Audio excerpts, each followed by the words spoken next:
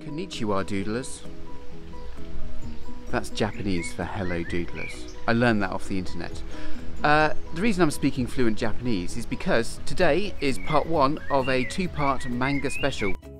Is a Japanese comic book and animation genre. It's been around in the Far East for a long, long time, but you see it more and more over here in TV, in video games, and comics. But it has a really unique style of drawing, so we're going to be looking at how to draw some male characters, female characters, maybe some animals too.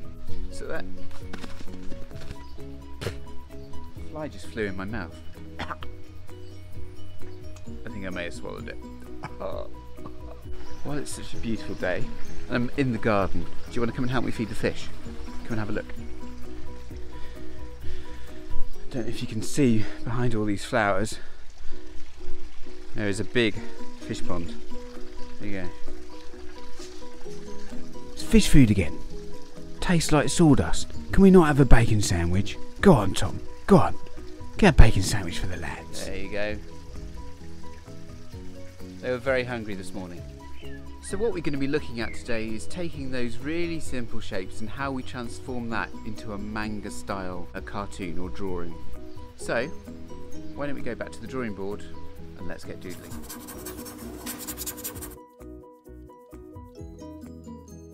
So we are back at the drawing board and like I said we're going to do a male and female character. So there is a bit of a difference between male and female characters. Uh, if we can see this little circle that I've drawn as a head shape, little uh, cross where the eyes and nose go.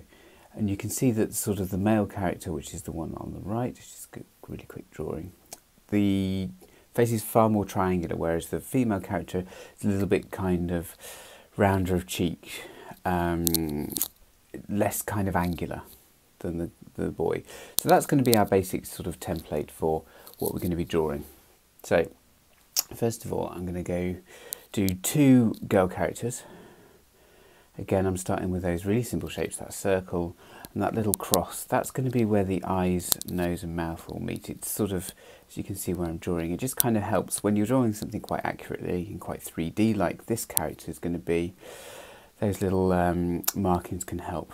So I'm just adding in that nose. Now the nose is a bit of a sort of triangle shape and the eyes are um, going to be big and round. The sort of um, classic sort of manga style of having the kind of big, big cutesy eyes. It's going to do some hair because the hair is quite interesting when you're drawing the, these characters. There's, it's almost like a sort of video game hair. It's kind of chunky in 3D, almost like it's been sculpted. So there we go, and just get the hair right. As you can see, they've got little eyes, big cutesy eyes. Little the the nose is actually very simple. It's kind of basically a sort of backwards L shape on that side. Um, and we've got the shape of the head, and we're just going to round off the cheeks because we want it to be a sort of female character, so it's going to be, like I say, less kind of angular than the male character. Um, these are all when you're drawing cartoons. These are all sort of, you know, cliche. The girls have big eyes and sort of rounder faces, and the men the boy characters have kind of um, chiseled jaws and angry looking eyes. I'm going to add a little bit of shading. I'm not going to ink these characters in, they're just going to be some nice sort of simple pencil drawings because we've got a lot of drawing to get to. I haven't got too much time to mess around with the detail. So there, see if we can get those eyes right. And rub out the things that I don't need, those little cross lines. Um, again, I'm using a computer, but if you were using pencil and paper, you just need a really good rubber. Uh, a putty rubber is actually a very good rubber because it means you, you can um, point it into a shape. So you can rub out any sort of highlights and things that you might need, like that, on the hair. But as I'm using a computer, I'm using the kind of rubber tool as a pencil, so rubbing away any of those things that I don't need. Again, these are really sort of quick, quick kind of characters. Haven't got a lot of time for for any detail. We're going to go into detail next week with the second part of my manga special. But for these, I just wanted to show you the sort of difference between the boy the boy characters and the girl characters. Now I'm going to use that rubber to make those eyes um, really kind of shiny. Again, it sort of all adds to the style. And if you're kind of familiar with how manga manga drawings work, then you will see. Zooming back from the picture again, if you're again don't have a computer, just stand back from your picture, see what it looks like from a distance. It's a really good way of seeing, making sure you're happy with everything.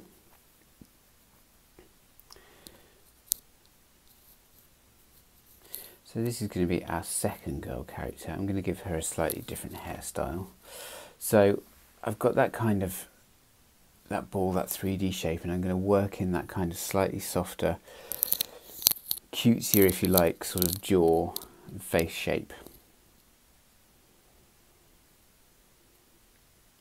Again, we can use those big eyes, trying to get the jaw right, trying to get that face shape right can be actually quite tricky. Um, it's I think it's one of the kind of hardest things when you're trying to draw something kind of stylized is trying to get get the face and jaw looking right from different angles and keeping it consistent as well. So if you move your character around, if you're drawing a comic strip, uh, keeping it so that the character looks the same throughout your drawings, that's a tough one to do. Um, it's the one that kind of uh, professional illustrators really struggle with as well.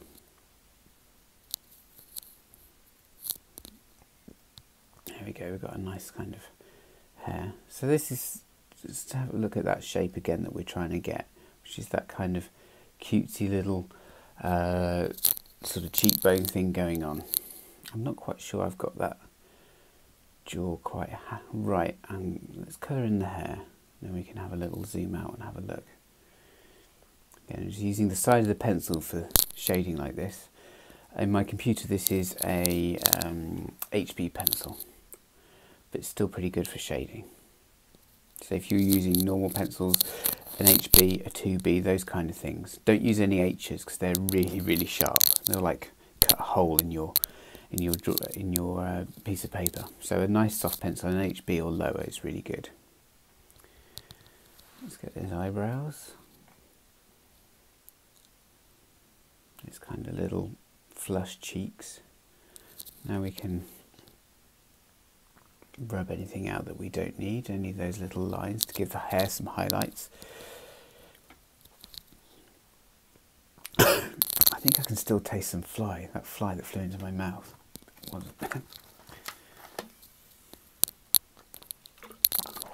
that's better. There we go. happy with a bit of shading down the side of the face, some shading on the hair.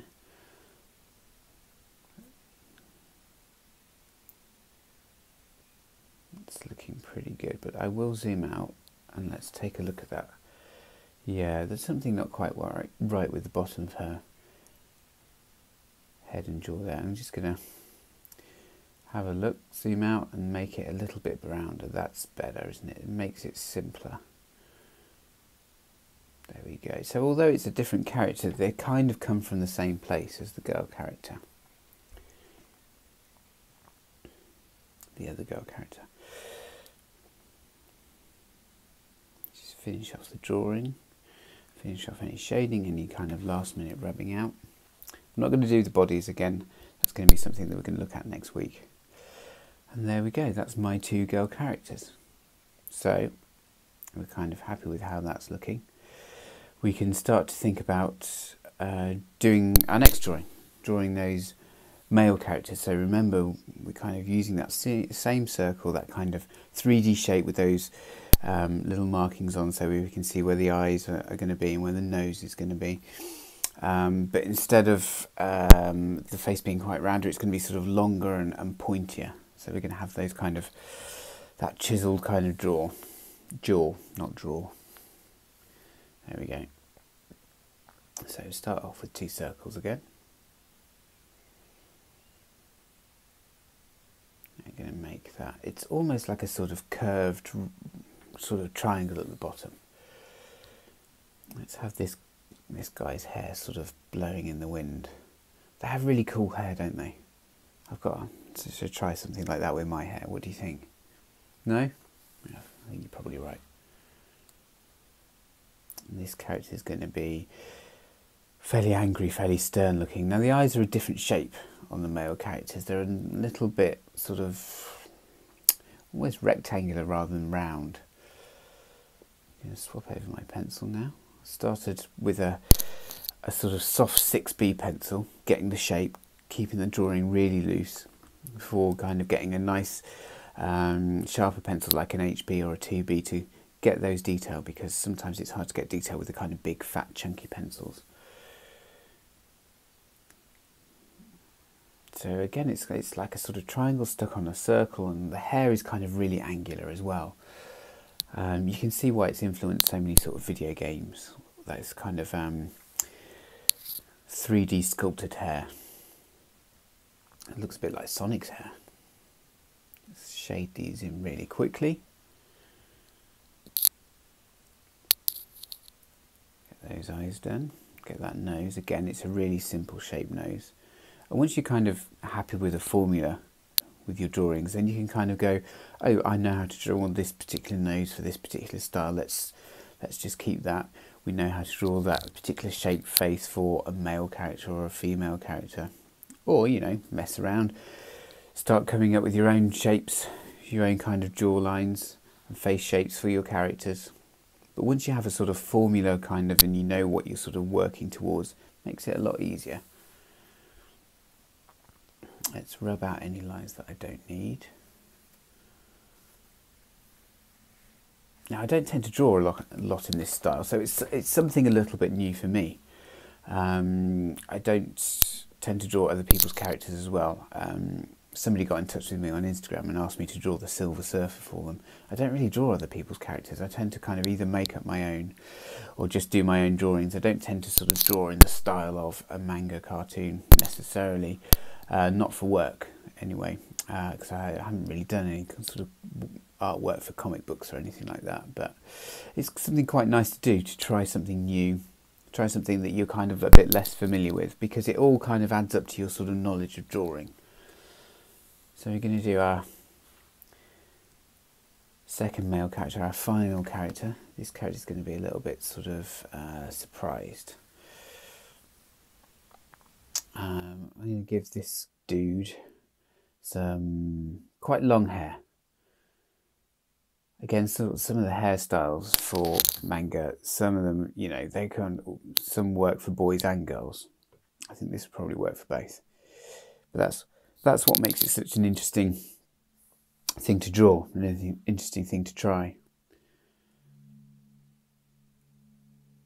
So this touches on the sort of stylized tutorial that we did a couple of weeks ago. I'm going to shade this in really quickly. So hopefully you can still see the sort of circle lines, the construction lines I like to call them before I rub them out uh, of that sort of circle with that cross of where the kind of eyes are going to go. And if you sort of move your head down, you can sort of see, oh, okay, it goes down there, it goes down there. That's a really useful way of making sure everything sort of looks right.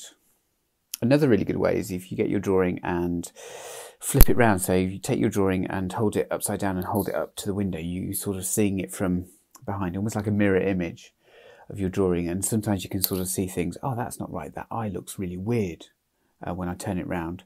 But if I turn it around the other way, it doesn't look weird. So it just kind of goes to show that there's lots of ways to kind of check on your drawings. Um, so that's another good way. Standing back, taking your drawing, holding it up to the window and turning it round so you can sort of see it from, from a mirror image or just hold it in front of a mirror, I suppose. Let's add a bit more detail. Got some little lines on the hair. Got some little lines rubbed out where the highlights are going to be.